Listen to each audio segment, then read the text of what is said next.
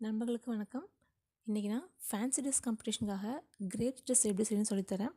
அதுக்கு தேவையான பொருள் பார்த்திங்கன்னா சார்ட் பேப்பர் நான் ரெண்டு எடுத்திருக்கேன். க்ரீன் பேப்பர் லீவ் செய்கிறதுக்காக double side tape balloons green acrylic colour இப்போது எப்படி செய்யுதுன்னு நான் காட்டுறேன்.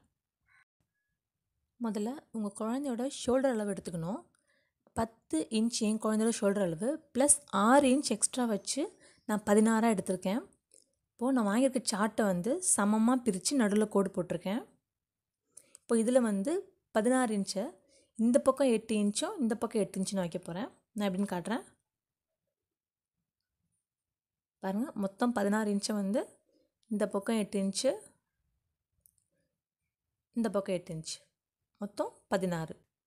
உயரம் பார்த்திங்கன்னா என் பாப்பாவுக்கு இருபத்தஞ்சு வருது. அதாவது முட்டி கீழே அளவு எடுத்துக்கணும்.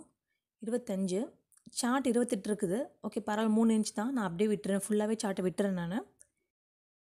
ஒரு வி ஷேப்பில் கோடு வரைஞ்சி அதை நான் வெட்டி எடுத்துக்கிறேன்.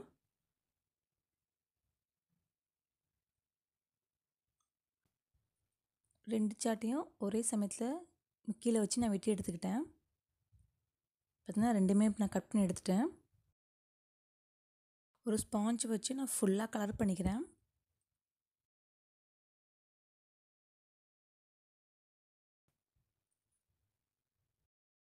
ஃப்ரண்ட்டு பேக்கு ரெண்டுமே நான் கலர் பண்ணி எடுத்து வச்சுருக்கேன். நெக்ஸ்ட்டு லீஃப் சொல்லிடுறேன். இந்த மாதிரி கிரேப்ஸ் லீஃப் டெம்ப்ளேட் வரைஞ்சி வச்சுக்கலாம். வரைஞ்சி உங்களுக்கு எத்தனை லீஃப் தேவையோ அத்தனை லீஃப் கட் பண்ணி எடுத்துக்கோங்க. இப்போது நான் கட் பண்ண லீஃபையும் மேலே கலர் பண்ணி வச்சுருக்கேன். அடுத்து இந்த மாதிரி பட்டையார் பேப்பரில் கலர் பண்ணி வச்சுருக்கேன். இது எதுக்குன்னா இந்த இலையெல்லாம் வச்சு அரேஞ்ச் பண்ணுறதுக்காக தலையில் கிரீடை மாதிரி வைக்கிறதுக்கு. இதோட அளவு பார்த்திங்கன்னா உங்கள் குழந்தை தலையின் சுற்றளவோட ரெண்டு இன்ச் எக்ஸ்ட்ரா இருக்கணும். அதாவது இந்த பேப்பரை சுருட்டி நம்ம பின் பண்ண போகிறோம் அவ்வளோதான் குழந்தை தலையளவோட ரெண்டு இன்ச் எக்ஸ்ட்ரா இருந்தால் போதும். இந்த மாதிரி பின் அடிச்சிடலாம் நம்ம. இந்த இலையெல்லாம் ஒன்று மேலே ஒன்றா வச்சு நான் ஒட்டி வைக்கிறேன். சும்மா ஒரு நாலு இலை இருந்தால் போதும். ரொம்பலாம் வைக்க வேண்டாம். குழந்தைங்க தலை சின்னதாக தான் இருக்கும். ஆனால் நாலு இலையிலே வந்து அவங்க தலை ஃபுல்லாகவே கவர் ஆகிடும் கிரீடை மாதிரி. தலையில் வைக்கிறதுக்கு கிரீடை ரெடி அடுத்து நான் பலூன் ஃபிக்ஸ் பண்ணுறது காட்டுறேன். பலூனை ஒரு மீடியம் சைஸாக ஒரே அளவாக ஊதி நான் டிசைனிங் ஆர்டரில் பலூனை ஒட்ட போகிறேன் அஞ்சு நாலு மூணுன்னு குறைச்சிக்கிட்டே வரணும். இப்போ இதை நான் முடிச்சு போட்டு இந்த முடிச்சு தெரியாத அளவுக்கு திருப்பி பலூனை ஓட்ட போகிறேன் இந்த முடிச்சு தெரிஞ்சால் அசிங்கமாக இருக்கும். அதனால் நான் இப்படி திருப்பி ஓட்ட போகிறேன் இப்போது குழந்தைங்க இந்த ட்ரெஸ்ஸை போடுறதுக்காக ஷோல்டரில் ஒரு பட்டை மாதிரி வச்சு ஒட்டிடணும். அப்போ தான் அந்த ட்ரெஸ்ஸு நிற்கும் உங்களுக்கு. இப்படி வச்சு ஒட்டிடணும். இந்த இடத்துல குழந்தைங்க தலை போகிறதுக்கு ஈஸியாக இருக்கும். அடுத்து பலூன் ஃபிக்ஸ் பண்ணிடலாம். எனக்கு வந்து டபுள் சைட் டேப்பு ஒழுங்காக ஒட்டலை. அதனால் நான் சில டேப்பே நான் வந்து டபுள் சைட் டேப் மாதிரி ரோல் பண்ணி ஒட்டியிருக்கேன். இப்போது இந்த முடிச்சு தெரியாமல் அழகாக மறைச்சி ஒட்டணும் இந்த மாதிரி ஒட்டிட்டு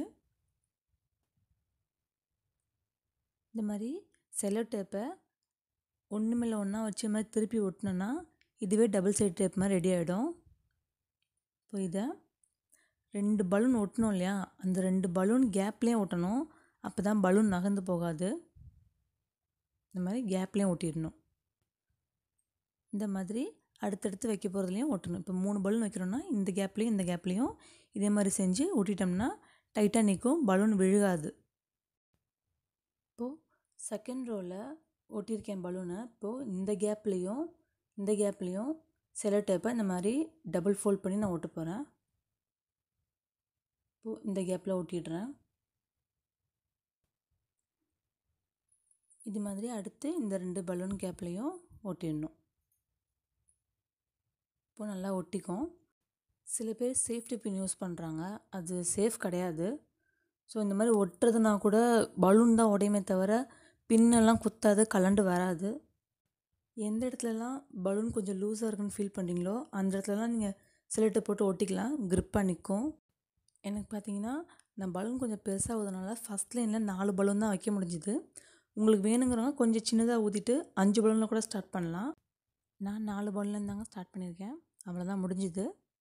இந்த வீடியோ எதனா டவுட் இருந்தால் கீழே கமெண்ட் பண்ணுங்கள் கண்டிப்பாக நான் ரிப்ளை பண்ணுறேன் இந்த வீடியோ பிடிச்சிருந்தா லைக் பண்ணுங்கள் சப்ஸ்கிரைப் பண்ணுங்கள் தேங்க்ஸ் ஃபார் வாட்சிங்